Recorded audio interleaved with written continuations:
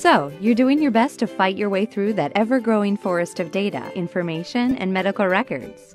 But despite throwing lots of money and resources at the problem, you know that you're still falling short of that magical 5% meaningful use target for view, download, and transmit. You're also concerned that your patients aren't feeling fully engaged in their own healthcare and that your organization is falling behind the healthcare technology wave. You say to yourself, there's got to be a better way.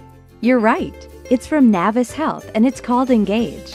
Developed in Silicon Valley, Engage is an affordable, easy to use, agile mobile EHR that helps patients to manage their health and communicate with their healthcare providers.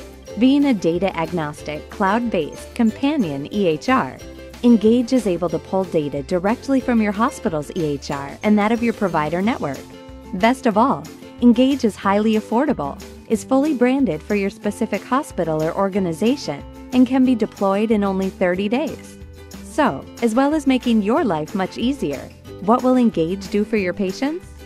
With Engage, patients get direct access to their medical records and lab results, a great set of easy to use tools customized specifically for their health needs, the ability to set medication reminders and share information with their caregivers, and to make their life even easier, it also seamlessly integrates with other popular healthcare apps.